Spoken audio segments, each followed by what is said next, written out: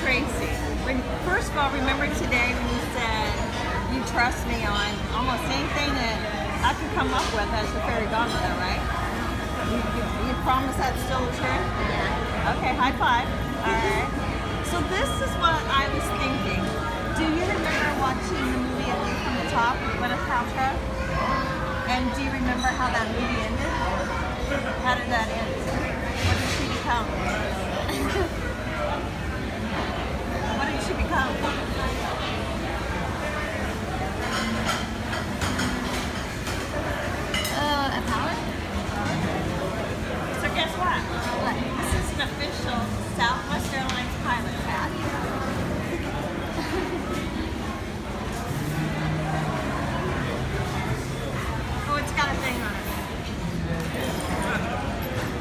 Southwest Airlines pilot hat.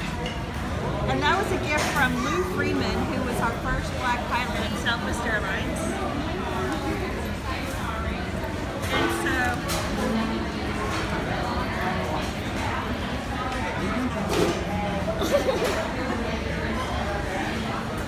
Wow. So do you trust me? Yes. So on the anniversary you and I meeting one year ago, you're going to become a pilot. What do you think about that? Yes.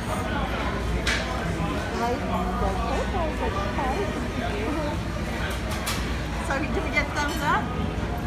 There you go.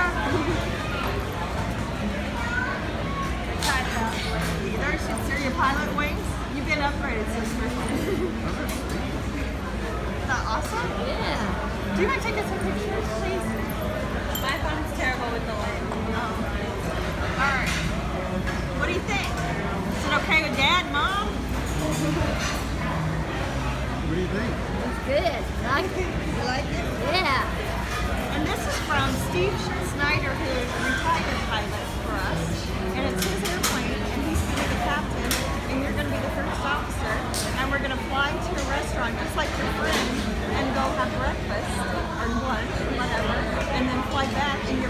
think from CBS are going to be there.